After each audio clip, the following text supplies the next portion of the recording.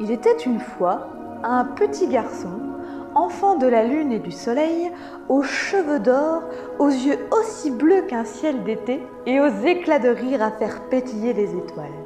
Un petit prince à l'âme de lumière promis à un destin sans pareil. Bercé par des mélodies d'amour murmurées à son oreille, il se balance tout doucement au bras de sa mère, sous le regard bienveillant de son père. Il s'émerveille chaque jour du magnifique spectacle sur Terre que lui offre Dame Nature. J'aimerais tant pouvoir courir les champs fleuris aux parfums enivrants, chanter la vie avec les oiseaux, danser avec les salamandres au son du kalimba.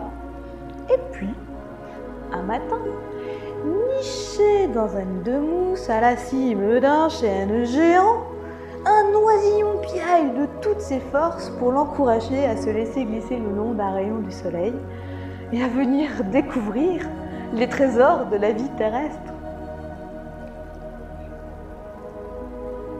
Répondra-t-il à cet appel?